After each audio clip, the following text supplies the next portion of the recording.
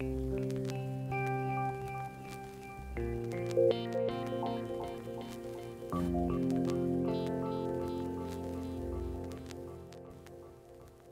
liked it so much. I liked the homely feeling of it, the infrastructure, the curriculum that they had so much that I didn't even end up going to the other schools when I already had an appointment.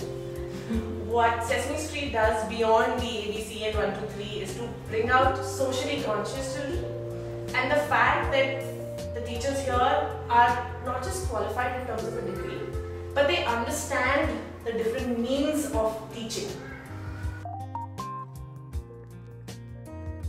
I've realized that he's become very independent now.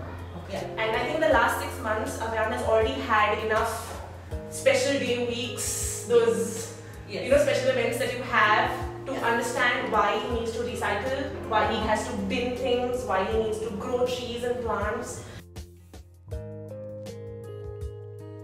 I like about how you handle it is that it's not just about wearing an ethnic dress and coming to school. Yeah.